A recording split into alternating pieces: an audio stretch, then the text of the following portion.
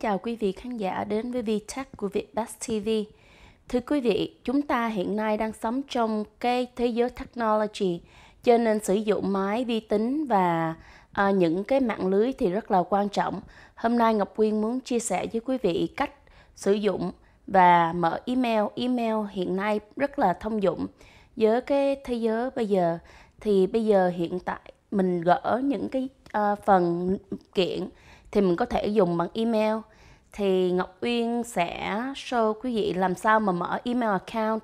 Um, thí dụ mình có thể mở email account mà mấy cái account này là được miễn phí không có tốn tiền. Mình có thể mở um, Gmail, Hotmail hoặc là Yahoo. Cái ba cái account này rất là thông dụng cho hôm um, chúng ta. Cho nên bây giờ Ngọc Uyên có thể chia sẻ cách mở ba cái account này. Thì trước hết thì chúng ta muốn lên internet nhà nào cũng có internet thì dùng uh, Google hoặc là Chrome hay là Mozilla Firefox thì cái này là Yahoo. Thì sẵn hôm nay thì Ngọc Uyên đã vô Yahoo. Thì Ngọc Uyên muốn chỉ quý vị cách mở Yahoo email account trước.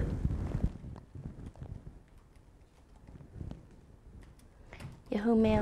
Thì chúng ta có thể vô là bấm vô cái search gọi là Yahoo Mail. Thì mình có thể click search khi đó thì nó sẽ vô trong Yahoo Login.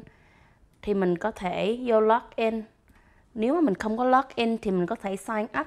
Thì hiện tại bây giờ mình không có cái email account của Yahoo. Thì mình có thể, don't have an account, thì mình có thể click on sign up.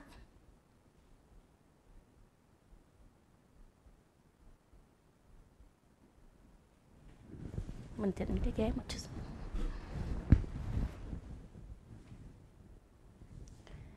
Thì trước hết thì khi mà mình sign up á, thì cái information này nó rất là bình thường nó hỏi mình first name last name hoặc là email address mình muốn dùng.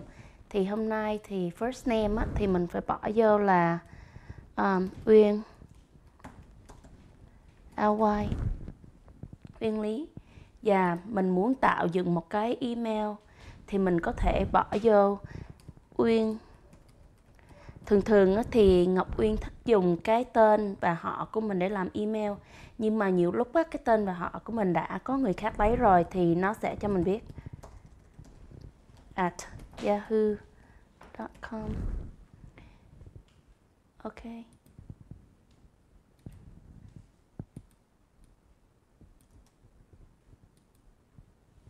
Cái account này đã có người dùng rồi Uyên đi thì mình có thể vô Bây giờ thì Uyên muốn mở cái account 2016 cho thí dụ là năm nay đi.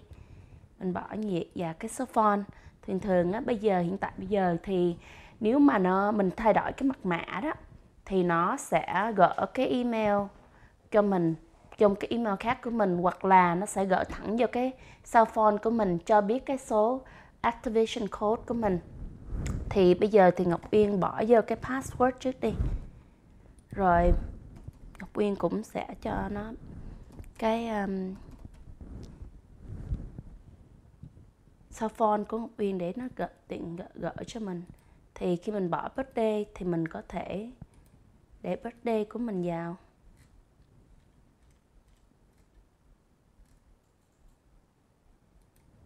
Ok.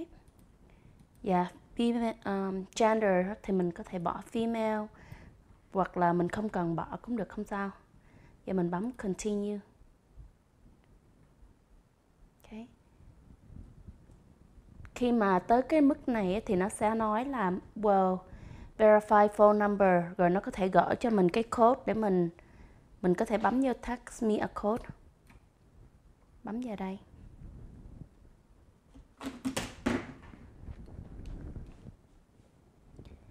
Và trong khi đó đó, thì nó sẽ gửi cái code cho Ngọc Uyên vào thẳng trong cái cell phone của mình luôn. Bây giờ Ngọc Uyên chỉ cần bỏ cái code vô và bấm verify. Xong xuôi. Let's get start. Đó, rất là đơn giản. Sau mở cái Yahoo email? Thường thường thì trong Yahoo thì mình có thể bỏ inbox là cái mà mình nhận được thư vào cái draft là khi mà mình có thể send cái um, sample mình chưa có muốn gửi thư nhưng mà mình viết một cái lá thư để mình sắp sửa sẽ gửi thì mình có thể draft. Hoặc là send là những cái email mình đã gửi qua rồi thì trong đó mình đã gửi cái gì mình có thể bấm vô là mình đã send cho người này mình có thể coi là spam á. Có nghĩa là những cái email mà người ta quảng cáo hoặc là những cái email mà trong cái Yahoo nghĩ là sẽ có độc độc hại với cái um, email account của mình thì nó sẽ bỏ vô spam trash là có nghĩa là những cái email mình không muốn lưu lại nữa thì mình có thể bỏ vô thùng rác đây là cách để mà mở cái email account của Yahoo thì thì Ngọc Uyên sẽ chỉ quý vị cách mở email của Gmail. Gmail là của Google. Thì Ngọc Uyên sẽ bấm vô um, Chrome. Đó, nó sẽ vô Google Canada. Tại mình đang ở Canada, thường thường đó là google.com là của Mỹ, còn này là google.ca thì của Canada. Thì sau cái đó thì Ngọc Uyên muốn mở Gmail thì Ngọc Uyên chỉ cần bấm vô Gmail để mà um, search và trong khi đó là nó có cái search option có nghĩa là sign up thì mình cũng có thể bấm sign up ok google.com sign up for gmail now thì ngọc uy muốn mở cái gmail account của mình. Thì cũng như, như vậy ngọc uyên cũng bỏ tên của mình vào. Và username á, thì cũng như vậy Uyên Ly. Để cho tiện lợi thì Ngọc Uyên sẽ dùng cái username giống như hịch của cái Yahoo để cho mình dễ nhớ hơn. Và trong khi đó chỉ cần là Uyên Ly 2016 at gmail.com cái hồi nãy là Uyên Ly 2016 at yahoo.com chỉ có khác như đó thôi. Um, thì trong khi đây thì nó đã nói có người dùng cái khi mà Uyên bấm vào đây someone already has this username try another. Thì đã có người đã dùng cái Uyên Ly 2016 nếu như vậy thì mình sẽ bỏ vô thử bỏ vô 16 thôi nha ok cũng đã có người dùng. Nhiều người dùng quá.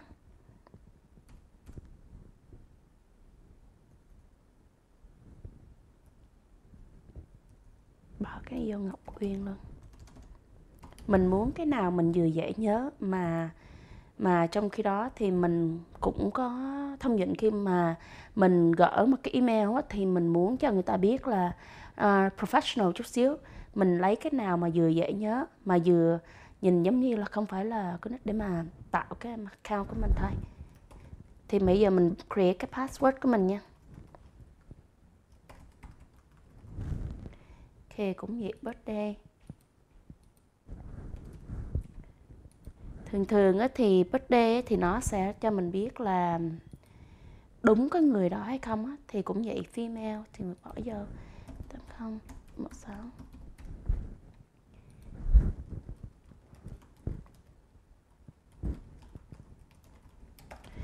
Cái này á là nếu mà mình đã có cái email rồi á thì mình có thể bỏ cái email account của mình vô. Uh, sorry nếu vậy thì Ngọc Uyên sẽ bỏ vô. Uyên Ly at yahoo com. Đó cái Uyên at yahoo.com á là cái email mà Ngọc Uyên vừa mới mở ra thì để bỏ vô như vậy để cho nó biết. Thí dụ mà um, có hai cái thí dụ. Thí dụ thứ nhất á, là mình quên cái số mật mã để vô cái gmail của mình. Nó có thể text cho mình vô cái phone của mình hoặc là nó có thể gỡ cái mật mã của mình vào cái email mình đã có rồi. Okay. thì trong đây thì nó gọi họ nói là mình có đồng ý cái um, Google Terms and Service của um, của Google hay không? Có nghĩa là nhiều lúc á, nó cho mình biết là cái đây luật lệ mình phải theo cái luật trước khi mình mở cái account này thì rất là bình thường. Thì thường thường á, mình có thể đọc cái luật của nó hoặc là mình có thể à, Ngọc Uyên đã đọc qua cái luật rồi thì Ngọc Uyên chỉ cần bấm agree là được rồi. Thì next step. Okay. Your email address is ngọc uyên lee 2016 at gmail.com bấm con- bây giờ thì mình dùng Google Chrome cho nên nó hỏi là mình muốn dư lưu lại cái password này hay không? Thì bây giờ Ngọc Uyên chưa có muốn lưu lại cái password thì bấm, not now, never, hoặc là not now. Thì continue to Gmail.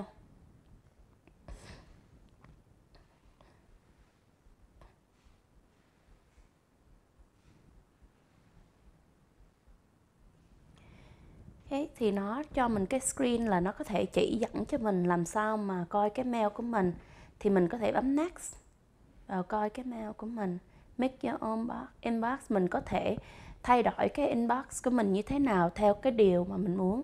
Thì uh, Ngọc Uyên là có thể chỉ các um, khán giả làm sao mà dùng vậy. Thì cái Gmail bây giờ nó rất là thông dụng. Nó có thể mình cũng có thể lót vô cái Gmail trong cái phone của mình.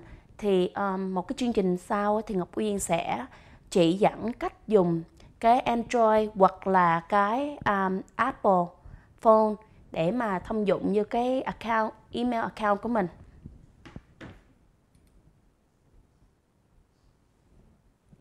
Okay, let's begin. Go to Gmail. Cái đây cũng mi hệt như vậy. Inbox hồi nãy Ngọc Uyên cũng giới thiệu inbox ở trong Yahoo cũng vậy inbox là cái thùng thơ mình đã nhận được những cái thơ vào và started. Thì nó cho mình biết là mình đã dùng bao nhiêu cái um, cái này thì hơi khác với Yahoo chút xíu. Cái này nó cho mình biết là mình đã dùng bao nhiêu cái free memory của nó đã cho mình. Và send email là cái email mình đã gỡ qua gỡ ra cho những người khác. Và draft là những cái email mà mình viết xuống nhưng mà mình chưa có gỡ đi. Và trong đây thì nó cũng có more option.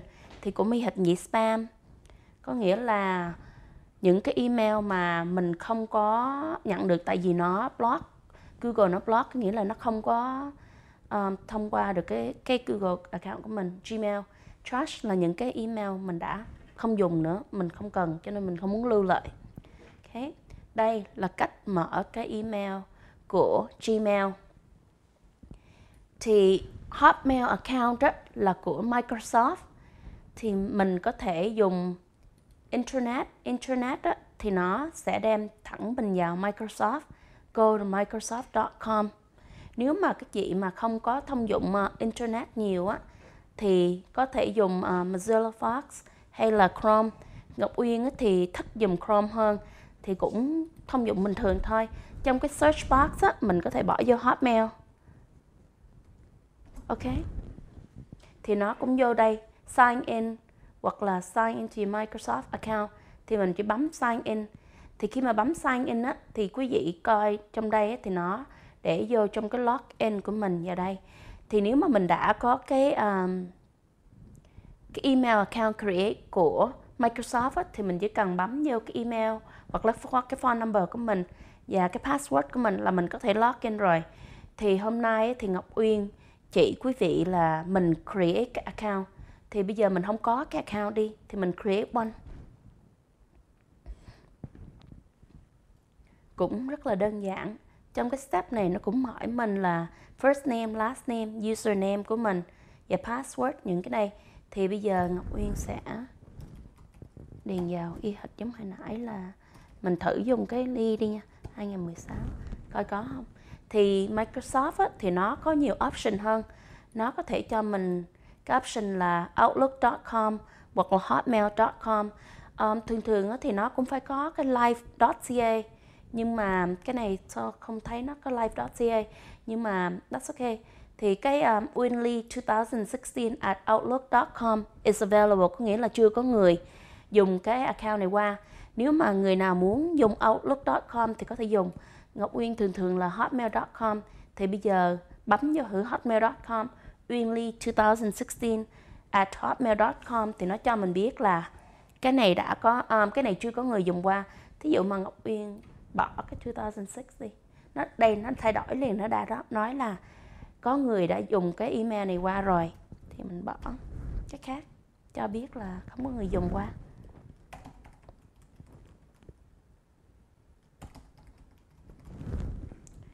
Thì cái này nó nhiều information hơn là cái kia, thì mình chỉ bấm vô. Thường thường đó là nó default cho USA mình là ở Canada, thì mình có thể đi từng bước xuống, hoặc là mình có thể bấm PC nó vào thẳng trong cái PC cho mình, là mình có thể bấm vô Canada trong đây. Ok. Đây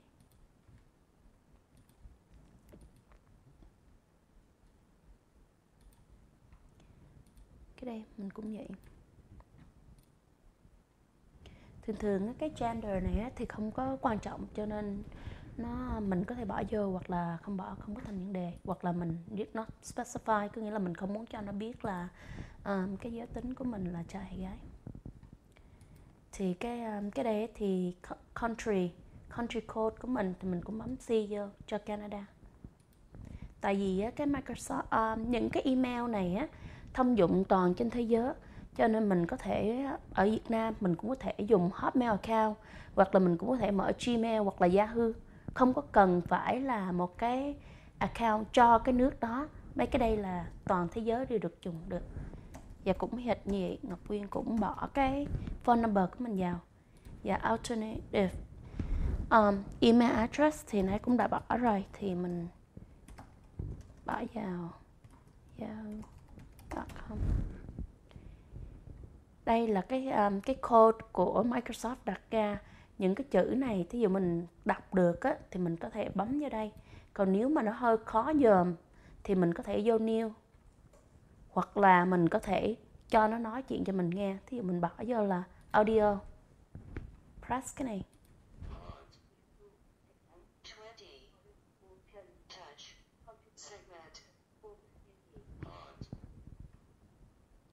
Ok hoặc bấm new nếu mà mình không có nghe picture là new này nha. Ok. WG 44543 ok. Mình có thể kêu Microsoft gỡ những cái offer product. Microsoft thì nó rất là có nhiều cái product cho nên nó muốn gỡ cho mình những cái product mới của Microsoft. Nếu mà mình muốn á, thì mình có thể ok send me promotional offers. Còn nếu không muốn á, thì mình không chắc cái này. Um, thường thường á, thì Ngọc Uyên cũng nói là Microsoft có nhiều product lắm. Nhưng mà mình không muốn nó lót đi những cái um, cái memory ở trong cái inbox của mình hoặc là mình có nhiều email quá thì Ngọc Uyên thường thường không có thích receive những cái cái product này. Thì mình cũng có thể bấm create cái account.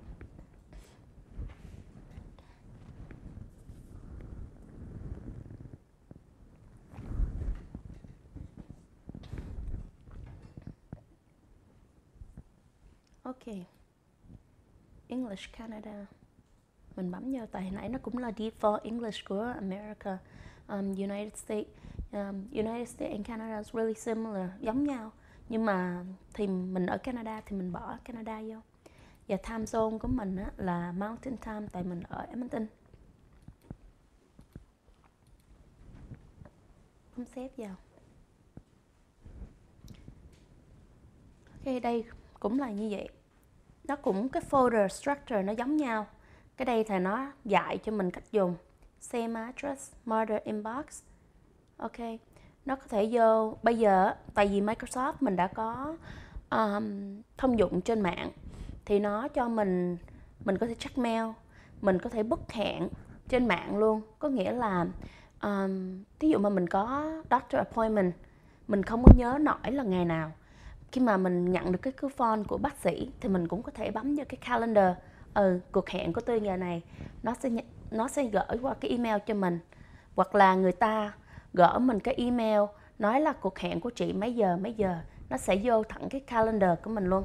Nó chỉ cho mình biết là cái thông dụng của nếu mà mình muốn coi cái video làm sao mà Outlook nó work it, thì mình có thể bấm play. Mấy cái này là cái basic sample của Microsoft nó cho giống như hồi nãy của um, Gmail.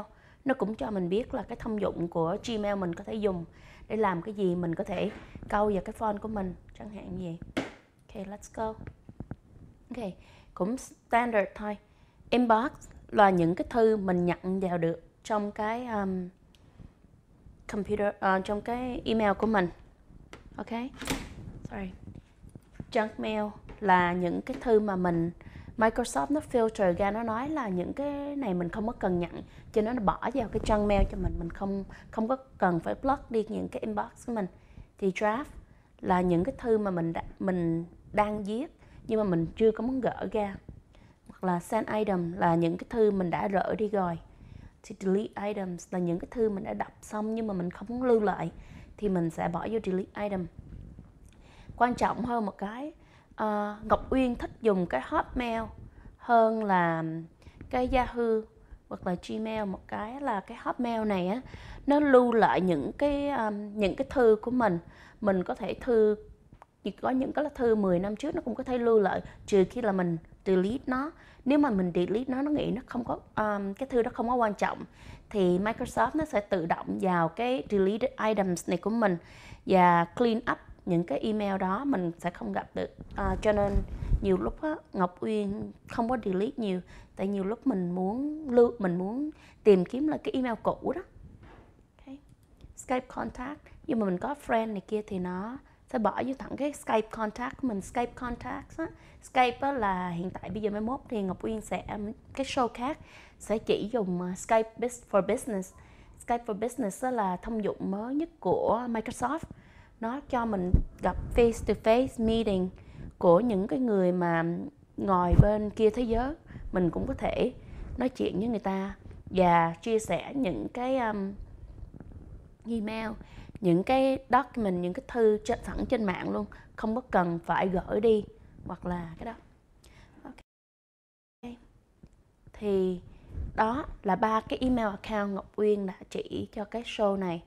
Um, rất là thông dụng thì bây giờ hiện tại bây giờ thì chúng ta ít có nhận được cái thư bằng mail lắm. Những cái gì mà mình cần á thì họ nói ok cái email account của mình là cái gì? Họ sẽ gửi thẳng qua cái um, electronic cho mình thay vì gửi qua bưu điện. Đó nếu mà có người hỏi um, quý khán giả là cái email là cái gì thì bây giờ quý khán giả đã biết mà làm sao mở được cái email account thì khi sau mà người ta có hỏi thì mình chỉ cần đưa cái email đó cho người ta. Và mình log in mình có thể nhận được cái thư liền lập tức. Cảm ơn quý vị đã um, chia sẻ với Ngọc Uyên chương trình làm sao mà mở được cái email account của Yahoo, Gmail và Hotmail. Cảm ơn rất nhiều. Thank you.